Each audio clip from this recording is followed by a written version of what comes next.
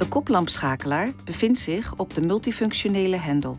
Draai de koplampschakelaar in deze stand om de verlichting van de koplampen, andere externe verlichting en het dashboardlicht in of uit te schakelen. Wanneer de verlichting is ingeschakeld, brandt dit controlelampje. Als uw auto beschikt over automatische verlichting, heeft hij de extra stand auto. Wanneer de schakelaar in de stand auto staat, gaan de externe verlichting en dashboardverlichting automatisch aan of uit op basis van de lichtsensor. De gevoeligheid van aan-uit-timing van de automatische koplampverlichting kan worden gewijzigd op het scherm met persoonlijke instellingen. Duw deze hendel naar voren om groot licht in te schakelen. U ziet dat er een blauw controlelampje gaat branden. Haal de hendel weer naar u toe om het dimlicht weer in te schakelen. Het blauw controlelampje zal uitgaan. Haal de hendel naar u toe en laat deze weer los om een groot lichtsignaal te geven. Uw auto is uitgerust met dagrijverlichting die altijd aanstaat wanneer het contact in de stand on staat en de verlichting uit. Tenzij de auto stilstaat en de parkeerrem is geactiveerd of, voor automatische transmissies, de versnellingspook in de parkeerstand is gezet. Het koplampniveau moet worden versteld als u zwaar beladen bent. Als uw auto is uitgerust met automatische koplampverstelling, passen de koplampen zich tijdens het rijden automatisch aan. Als uw auto is uitgerust met handmatige koplampverstelling, gebruikt u deze draaischakelaar. Druk deze hendel licht omhoog of omlaag en laat deze los als uw auto is uitgerust met de functie voor driemaal knipperen voor de richtingaanwijzers. Nadat u de hendel hebt losgelaten, zal de richtingaanwijzer driemaal knipperen. Deze functie kan worden uitgeschakeld via de persoonlijke voorkeuren.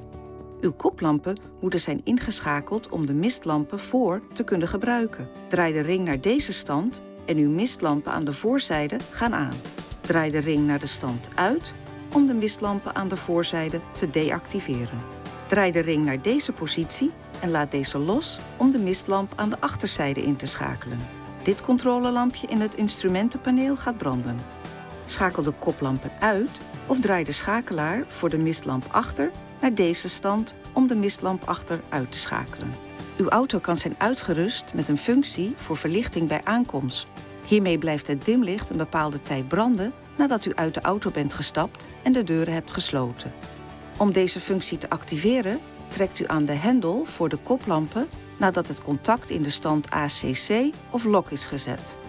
Wanneer u nogmaals aan de hendel trekt, worden de koplampen uitgeschakeld. Na ongeveer drie minuten zonder handelingen worden de koplampen automatisch uitgeschakeld. U kunt deze functie personaliseren in het menu Instellingen. Een ander systeem van uw Mazda is het Leaving Home Light systeem. Hiermee worden de koplampen gedurende een bepaalde tijd ingeschakeld wanneer u naar de auto toe loopt. Een voorwaarde hiervoor is dat de koplampschakelaar in de stand koplampen of auto moet staan wanneer u uit de auto stapt. Wanneer u dan de volgende keer dat u naar de auto loopt op de ontgrendelknop op uw afstandsbediening drukt, wordt het dimlicht gedurende een bepaalde tijd ingeschakeld. Uw auto kan zijn uitgerust met Adaptive LED Headlights. Het adaptieve LED-koplampsysteem gebruikt de forward sensing camera om te bepalen of er in het donker tegemoetkomend verkeer of een voertuig voor u is. Het adaptieve LED-koplampsysteem wijzigt vervolgens selectief het verlichtingsbereik van de koplampen, het verlichte gebied of de helderheid van de verlichting om het zicht van de bestuurder te waarborgen zonder het tegemoetkomende verkeer of het voertuig voor u te verblinden. Het systeem gebruikt een collectie LED's in elke koplamp voor het groot licht die zijn ingedeeld in zones die elk afzonderlijk kunnen worden gedimd. Dit houdt in dat het groot licht actief blijft, behalve in de zones die van invloed zijn op het voertuig voor u en op de andere weghelft. Wanneer er geen auto's voor u zijn of u tegemoet komen, branden alle lichtzones.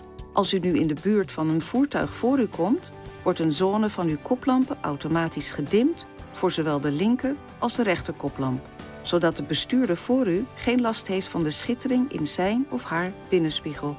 Bij tegemoetkomend verkeer worden andere zones van de adaptieve LED-koplampen gedimd om verblinding van de bestuurder te voorkomen.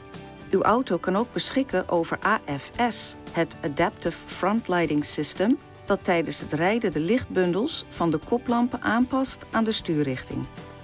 Raadpleeg uw instructieboekje voor meer informatie.